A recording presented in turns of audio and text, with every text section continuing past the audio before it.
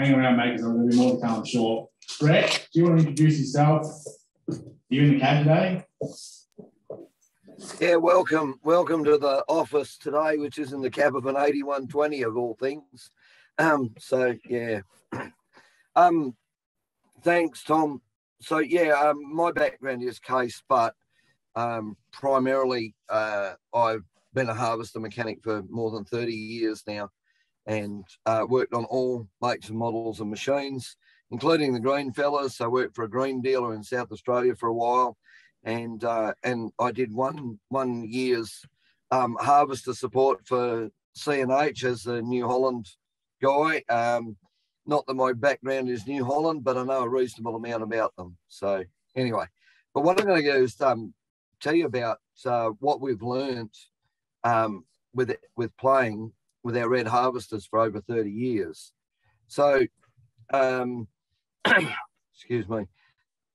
So early on in the early 90s, I had a friend that had a pair of um, 1480s, and one was a pretty good header, and the other one was pretty average. Um, and we were trying to work out, you know, why and what the difference was between the two machines. And we found that the average one, the concave wasn't. You could never align the concave correctly. It wasn't wasn't parallel to the rotor. And so we, um, you know, being farmers and bush mechanics, I suppose, um, we took all the anchor bar mechanism out of that machine and we took the mounting plates over to the workshop and took to them with a gas axe. And the idea was to try and put that concave in the same position as the other machine and see if that's what was making it no good, if you know what I mean, or not as good. So we went did that and we made the bad one better than the good one. So that was an interesting thing. And I think it was because we were even more precise with the way that we set it up. So then of course we went back, did the other one, and we ended up with a with a pair of pretty reasonable headers. So those machines were in there, you know, high 20s, you know, 25 to 30 ton an hour machines um, once we had finished that.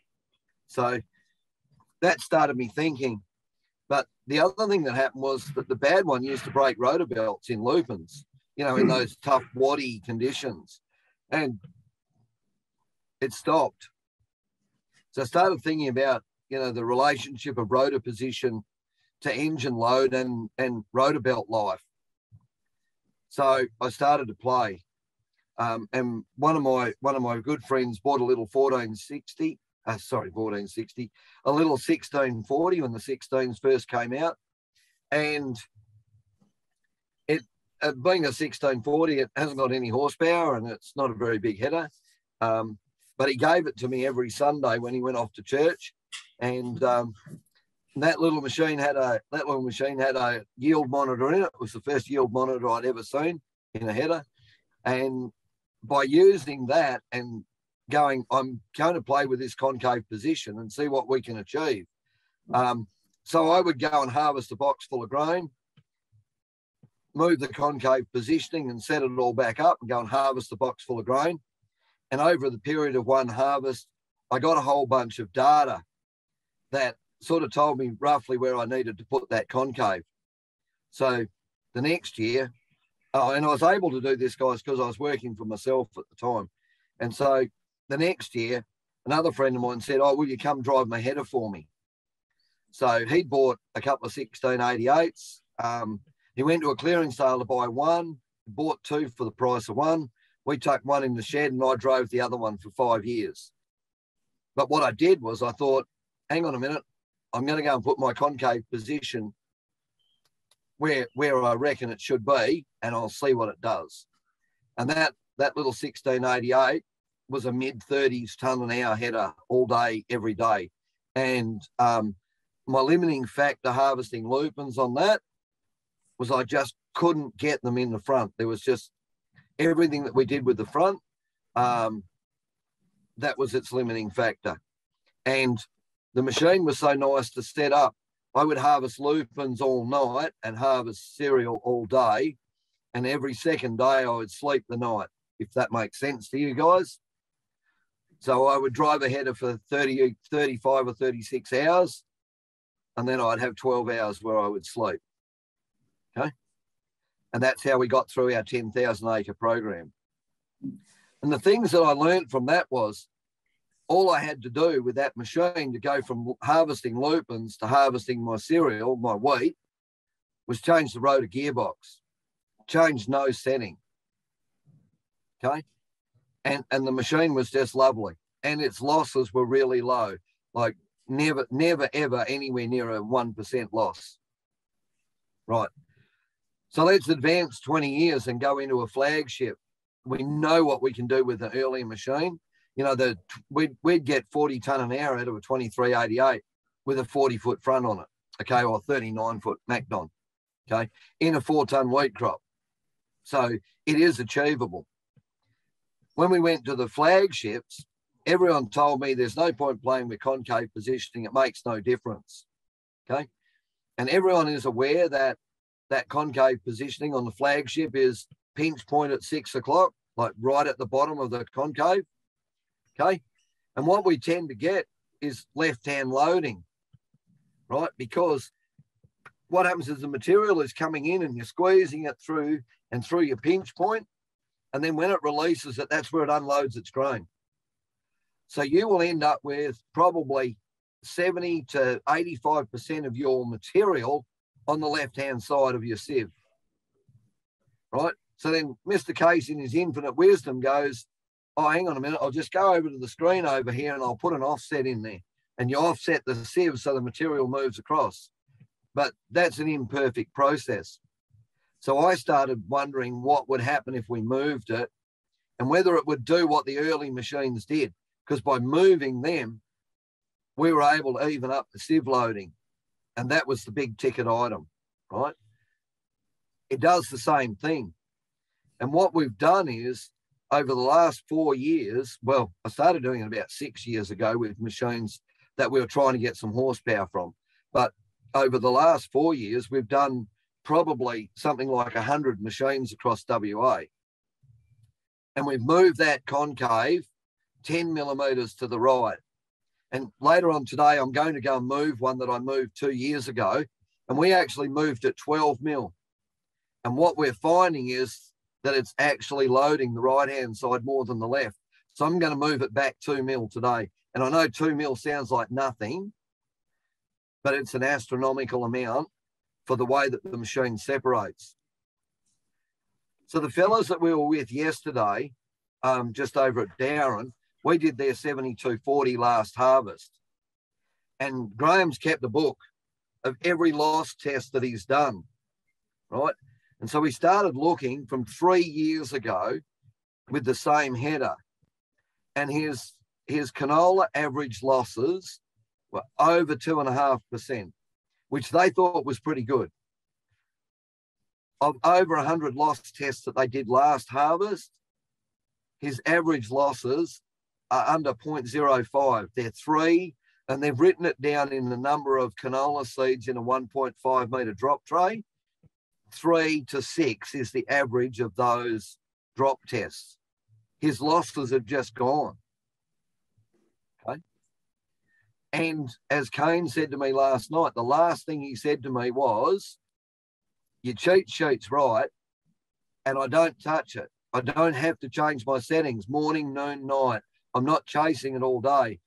The thing is linear and it works, and we just don't mess with it. Right? But it's about a four step process, guys. Level and zero your concave as per the factory so that you know that it's parallel to the rotor and it's level. Okay. Shift your concave 10 millimeters to the right. Shim all your rasp bars so that they're all as even as you can get to within a millimeter because we've found that even with brand new rasp bars, there's up to a six millimeter difference in the height. So what you can have is you bolt them on randomly. You can have two bars that are six mil higher than the ones alongside it. Right? So we do all of that. We also run a much, much, much wider concave opening. So the average of the guys across here they start their concave opening in cereals at 20. And a lot of guys are running mid 30s, 33 to 35 on their concave opening. So what this does is, because we've moved the concave across, we've increased the surface area of our pinch point. Instead of it being a single bar point, it's actually a multi-bar point on the left-hand side. And running it much more open, it holds a lot more straw in there, doesn't smash the living daylights out of it, and we get straw on straw thrashing. And when the straw stays intact, it's much, much, much easier to separate the grain out of it. Okay. Last thing that we do is we fill the separation grate with spike rasp bars.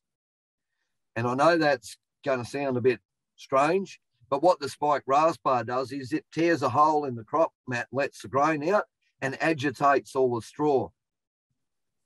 Right. Those four things, if you do them in isolation, what ends up happening, you, like just moving the concave will give you a gain, but it won't be the full thing.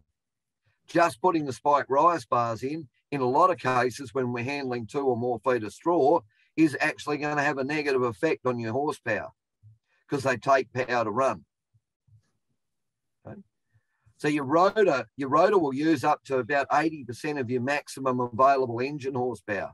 So if you're trying to poke a four ton crop, you know, with big bulky straw through that little tiny pinch point this wide, 80% of your 500 horses is going to go to run on that rotor. So when we go and open it up, it still keeps thrashing. And I tell the guys over here, open the thing up till it stops thrashing. And then generally, when they get to about 35 in their cereal, they go, it's at 35 and it's still thrashing. Do I keep opening it?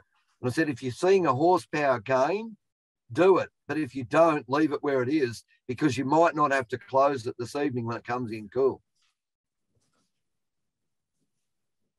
Does that all that all sort of make a bit of sense? Anyone got any comments at the moment? Brett, put your hand up on what side of the uh, what side of the concave you move. You're sitting in the header, facing forward, left hand side. This is the right. Yeah. This is my right hand. This is the right. If you're sitting in the seat, I'm moving it to the right. Okay. Very good. Do you want to just run through, Brett? And we've done it already all week. You don't want to mention the word corn. These set up to harvest corn because they're Yankee machines. But what happens to the to the material with with, with grain material, cereal material going through the header without moving that concave?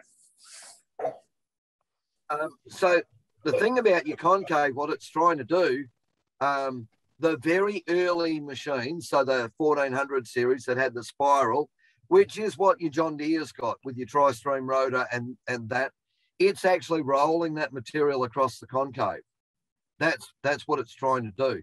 And that's why there's a distinct difference between the way you set up a case harvester and the way that you're going to set up a, a John Deere. Okay. A lot different, right? Um, they, they function differently internally.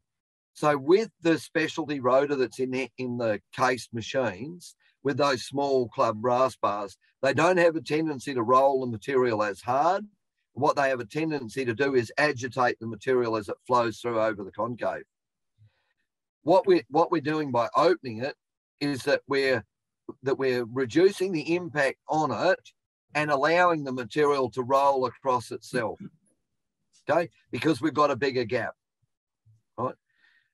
When you go and put green material into these things, normally, and I mean, I used to get it with the old girls running um, and um, trying to harvest lupins. You get a little green patch, and it just about kills them, right?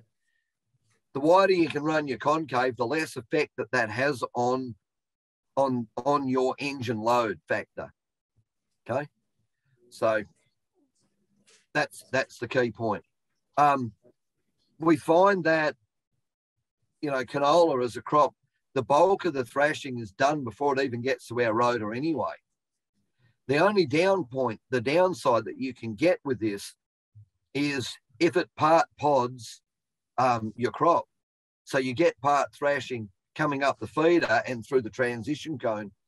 And you can find, and if you kill stall the machine, you'll have a look and you might find part heads or unthrashed pods on the right hand side because they haven't gone through that thrashing process, right? So more often than not, we've got to run either a, an extreme or hard thrash concave in the front on the right hand side because that material is just dumping straight on that uh, on that concave, right?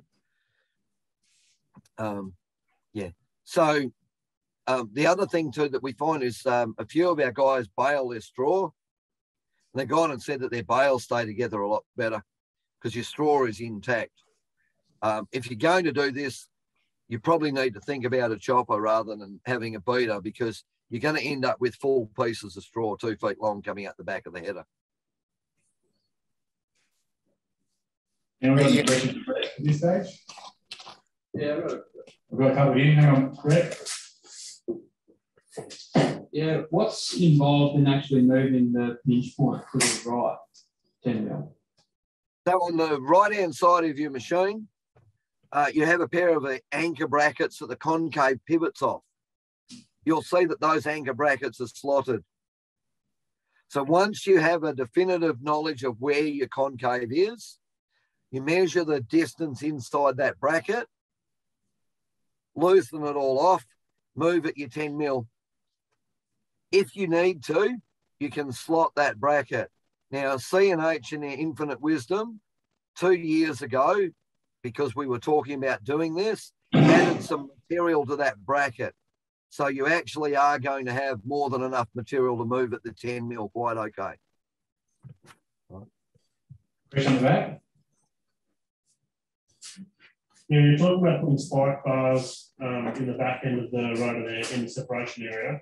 Um, what Yep. about straight bars or helical kickers or anything like that? Do you like any like out of using those things? Right. So um, I, I refer to straight separator bars as uh, horsepower thieves. So if you want to be able to kill stall your machine, you'll find that it won't stop unless it's got a pair of flat separator bars in it. Right? Um, that's what they do. But they're a dozer blade.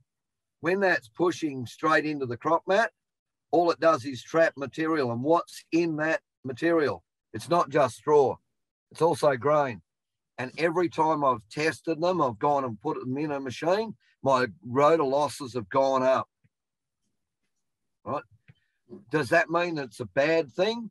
No, because I do have one customer who runs one pair of flat separator bars over his number two concave only in his barley. Okay. And he does it because he uses it as a de-awning tool. Okay. He runs a very, very wide concave, but puts the flat separator bars over number two. It that machine or those two, because you've got a pair of them, those two machines have 34 spike rasp bars in the separation area. So the next thing is helical kickers. So your helical kicker is designed to launch the material off the back of the rotor and into your chopper or beater. If you take that first, the only pair that they come standard with, if you take them off, you can stall the crop flow coming off the back of the rotor and you can block it at the beater or chopper entry. So they're there for that purpose. And I have seen machines where they have a row of them to try and accelerate the material out the back. One season in, there's no paint on the straw hood and there's no paint on the straw spreader and there's big holes in it where the grains cut the aluminium straw spreader sheets away. My recommendation is don't do it. Find another way. And the other way is, you know, we've tried everything over 30 years and I find that nothing else works better than this setup. Right. And I know that if you ring your dealer today and say, get me 34 spike rasp bars, they're going to laugh at you. And that's because we've fitted about 5,000 of the things over here in the last two years. Okay. Yeah, So thank you. What we what we see with it is a massive reduction in your engine load, a reduction in your fuel burn. We had one customer running 280, 240s, and he rang me at the end of his harvest and he said, Yep, it's official. I halved my fuel bill. Yeah, and you also mentioned about shimming up your um, shimming up your rasp bars. Does that alter the um, make of does it muck up the balance of the rotor at all or not? No, when we go and do that, we actually weigh every single rasp bar.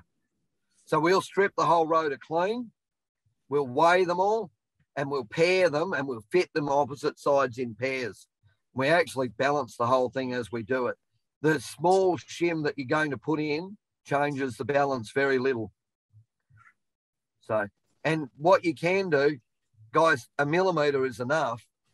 So I use, I just go and buy big boxes of flat washers, which means you do have to rattle the bar all the way off and rattle it back on. But it means those washers that I buy are one mil thick, and it, one mil is close enough. And if we're going to go strip down an old rice machine, what are the model numbers you're going to go for again for those rice bars? Oh, uh, if you go and buy a, a late model rice, or you go and buy a rotor out of a late model rice machine, so anything from the 1600 AFS rotor machines onwards, the, the rasp bars remain the same. The spike bar is the same all the way through. And all you're looking for is that little hook. That That's all you need.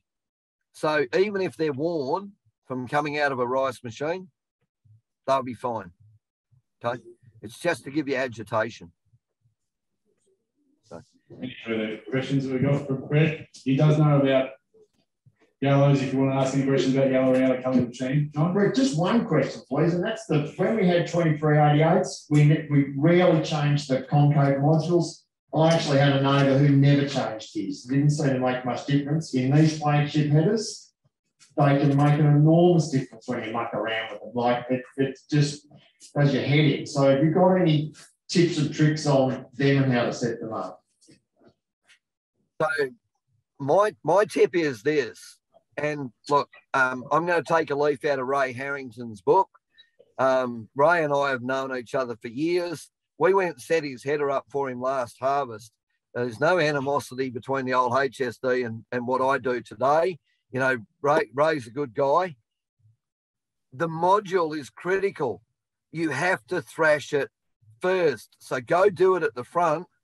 And, and Ray goes and says, You want to chuck a bucket full of golf balls in your feeder? And they all should land on your sieve. Now, I think that's a little bit extreme because I think the golf ball's a bit too big, but get the sentiment. If you aren't smashing your material completely into pulp, you can run large skip wire concaves in everything at the back over your separation grate. You're going to guarantee that you get every grain of wheat out there. Okay. I want you to put it in your grain tank, but I have an ulterior motive right? My real playing with these flagships started when I put a seed terminator on a 7240. And I was chasing the horsepower gain. That's when we started playing, right? And I got the horsepower to run that. But I also learned that by moving the concave, I changed my separation and I wasn't putting any grain over the back of that machine and my road losses went away, right? And so that's what this whole thing was. But there's another little bit. When you do your grain loss testing and you know you've got rotor losses, yeah, I know we count the grain, don't we? Did you have a look at the weed seed that's there as well? You've gone to all of the effort of mowing it off on the ground, picking all that stuff up, and we're throwing some of it out with the grain. So if you get rid of your grain loss out of your rotor, your harvest weed seed management increases as well. So there's the old double edged sword. You've got to get it all out. And that includes anything else that you've harvested that you want to put on your sieve. And that's regardless to whether you, you know, um, got a chaff deck or you're narrow windrowing or whatever you're doing with your weed seed. If you don't put it on the sieve, you can't you can't sort it. So whatever money you've put into it, if you got rotor loss, you're probably, sorry guys, blowing it across your paddock. So does that sort of make sense? There's, there's a little rule. There's a little rule. It's it's loose is fast. That's your first rule, isn't it? On your rules of setup, you say that three times at least. Loose is fast and fast is smooth. Is there anything else you want to ask Brett before we move move along a little bit? Any other model headers? Where's the yellow fella? Brett, do you want to uh, make a comment on the New Hollands? Um, yeah, I will, Pete. Thanks for that. Uh, so about three years ago, New Holland changed their rotor. Okay. And if you look at look at the earlier machines, their rotor um, had a flat rasp bar and it had little separation pegs and there were a whole bunch of extra places. My recommendation is if you've got an earlier New Holland, go and throw all the extra rasp bars and the extra pegs on there that you can and improve your separation. The next thing, why did New Holland change their rotor? And what did they change it to? So if you look inside a case machine and you see the little blocks that are there to take your rasp bars, the current New Holland rotor has those blocks on it. They're actually the same part.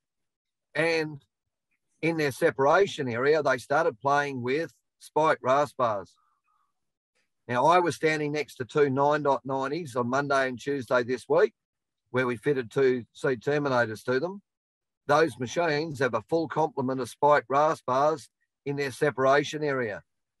And anybody familiar with the New Holland, if you go and have a look at their separation grate, it's the same dimensionally as a case large skip wire concave. And you don't change it. It's in that machine all the time. And we know that the New Holland is a specialist cereal harvester. That's what it's designed to do. So take a leaf out of that book and go play with it. How do we know it's a specialist non-corn? so if you if anyone if anyone's familiar with um, Lee Klancher, he's an author from the United States.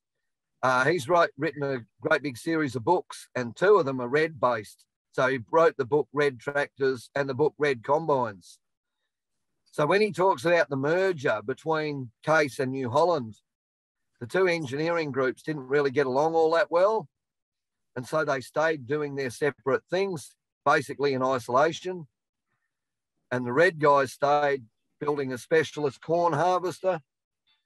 And the yellow guys stayed in Europe based, building a specialist cereal harvester. So the New Holland is European based to compete with the Lexion. The, the um, case machine is North American based and to compete with the John Deere. We just got to go and configure them over here so they work for us. They You said can that work for it, can't they? They can work for us if we do the right things.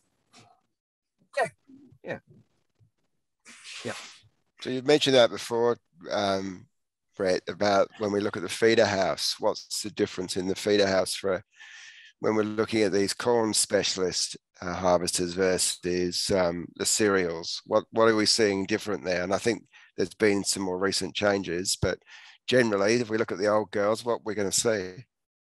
So um, typically, as far as your feeder house goes, if you have a look at the bars across it, more often than not, if you find a um, a cast iron bar with a um, with a support on the back of it, um, you'll find that it has trailing edge serrations, um, and they are designed to pull corn cobs up your feeder house. Um, if they're a pressed steel bar with leading serrations, and they're usually smaller serrations, um, they are a cereal feeding feeder chain. So if you have a look at a case machine, the case machine has a cereal feeding chain in it. Um, but if you have a look at some of the others, they have a like a big heavy cast iron bar in them, made made particularly uh, specifically so that they don't get bent by corn cobs. So And when you think of that feeder chain, what, what's the what's the setup? What should it be from the base of the of the feeder house? Because I think you've told me before that's pretty important. Uh, yeah, your feeder floor clearance is important when you're trying to feed light crops, particularly. Um, so you need to keep it low and and fairly close to the floor. The thing though is, if you then try and start feeding um, a bulky canola crop, or a, like you guys grow a lot of beans, uh, the, our guys over here grow lots and lots of lupins. Um, and I mean, I've I've probably spent two thousand hours feeding lupins off a tin front into a into a various number of red headers over the years um, you got to get it up or you got to allow it to float enough that you can get that bulk in to that feeder.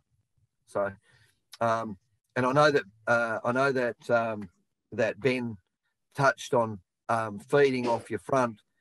You know, retractable finger timing is critical, but then the next thing is you also need to get that transition between the RTD or retractable finger drum and your uh, and your feeder chain as small as you possibly can because there's a dead area in there where it's just purely material push that is and flow that is going to carry that material across there.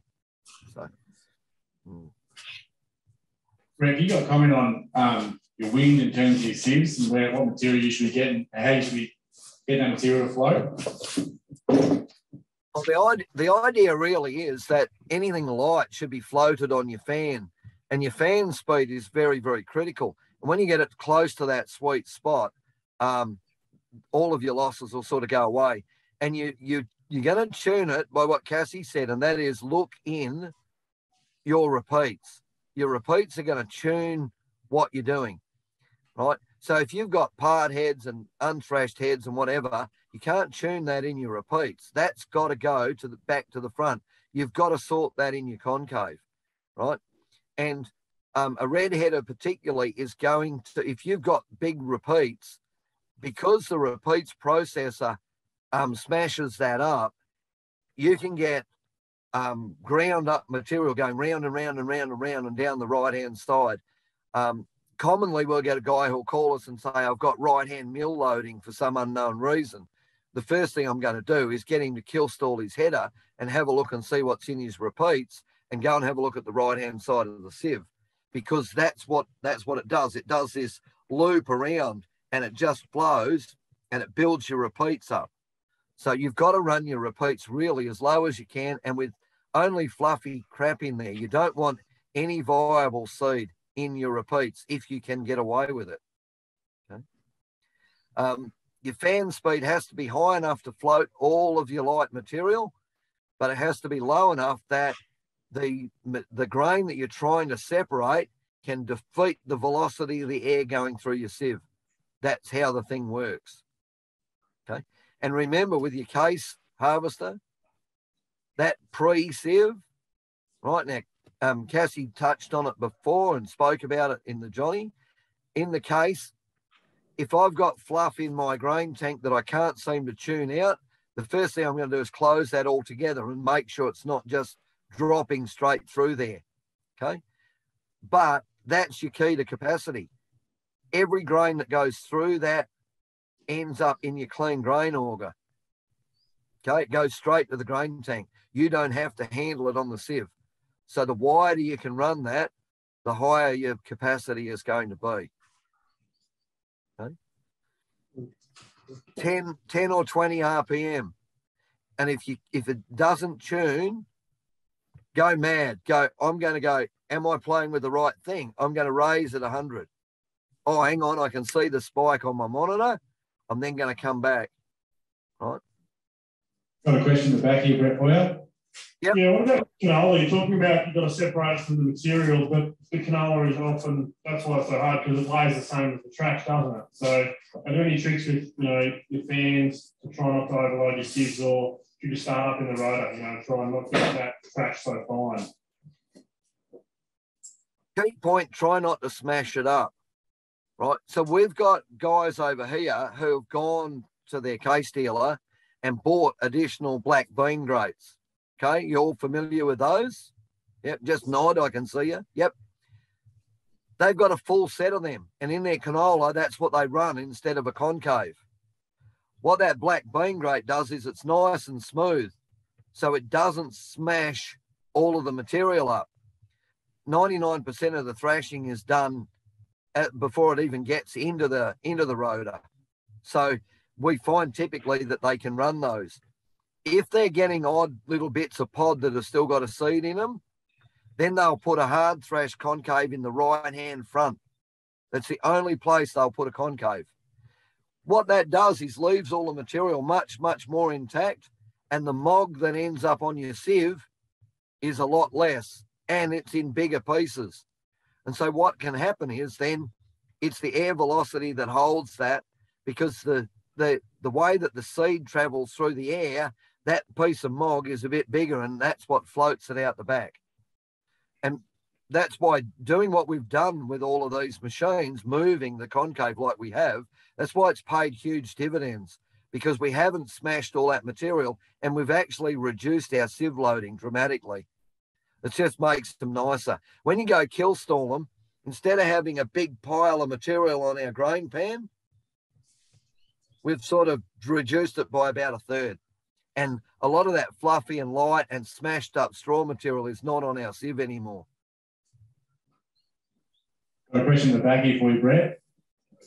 Yeah, hi Brett. Have you got any comments on uh, setting red machines up for stripper fronts?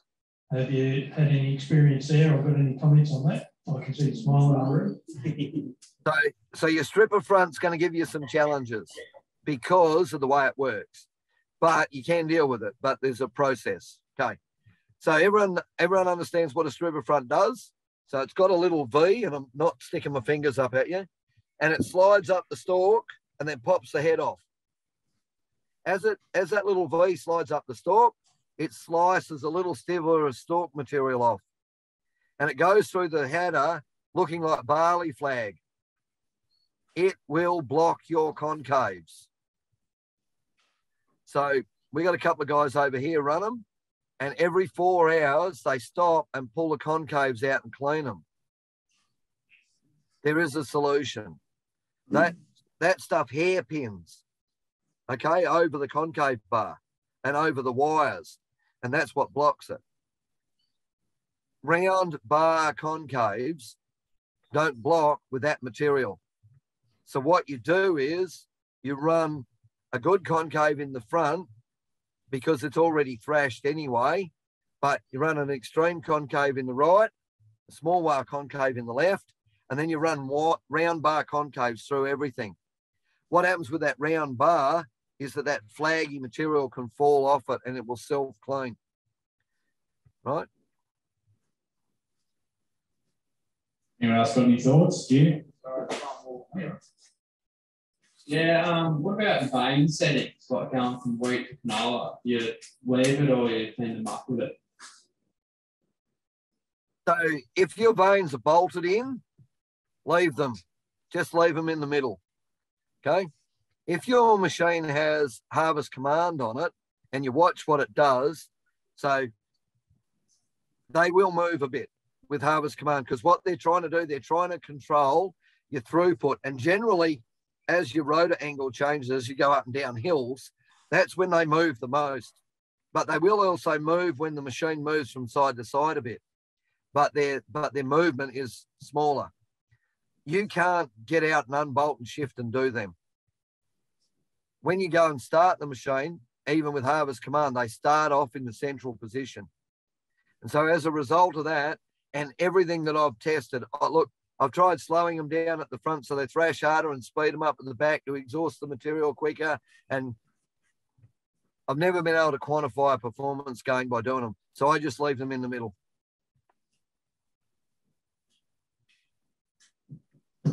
Anyone else got anything they'd like to touch on? Brett does know a bit about John's as well if you want to ask him anything about the green stuff. Ash, oh, yeah. About John Deere? Yes. No, it's on the page, yeah. Oh, it's on the page. Anyone else? Know everything you need to know? Brett Any- has got cheap available as well, so Anything Yeah. on Gleaners? if you want to go to Gleaner. Want to talk about Gleaners, Brett? Hell, you're scaring me. you be born into a dairy farm, don't you? Born into Yeah, no, no, no, no. The, look, the last the last Gleaner I worked on was crawling around inside the burnt out wreck trying to find out what started the fire. Um, so, yeah, yeah, that's all right. Hey, um, look, they're a way different beast, and um, there aren't there aren't the aftermarket pieces to to actually configure them, but effectively, um, you can't move the cage. You can't the the rotor's where it sits. Um, you can you can mess around with the elements and so on and so forth, and that's the only place that I would say go and have a play. Um, what we've learnt is um, increasing your ability to thrash the material early on does actually help us if we can run a wider concave position. So, look, I, I think the Massey is a is a similar sort of thing in the way that it it works um, to what the Gleaner does. Um, so yeah, I haven't crawled. I've crawled inside one to find out why it burnt to the ground, but I haven't crawled inside one to find out why it worked. So, but I do know guys that run them and swear by them. So yeah, just a different animal. Anything else, guys? Before we move on, Brett, thanks very much for this week, mate. I really appreciate you jumping on where you are and taking time out of your busy schedule. Brett's available through Seed Terminator as well. If anyone wants to get in contact with him directly, he's uh he's told me that he's happy to have his number handed out, but only for text at the moment while he's busy flying around Western Australia, putting Seed Terminators on machines and, and fixing up other issues. But he can respond to text at night. The sort of like he is. He responds to mine at the middle of the night most of the time. And um, you're, you, you, you can send out things to people as well, Brett, as they, as they request them. Yeah, so one of the guys was at your school yesterday. Tom sent me an email overnight or during the day yesterday. Um, I've already sent him all the documents that tell him how to do his concave shift and that this morning, and my cheat sheet that tells him where to start from and all the little all the little tips and tricks. And uh, yeah, we hand it out as we need to. Peter, we'll, we'll move on to, to Michael Walsh's presentation on, on harvest weed seed control now. But yeah, thanks, thanks, Brett. We'll see you again soon. Hopefully over here in Victoria. Soon,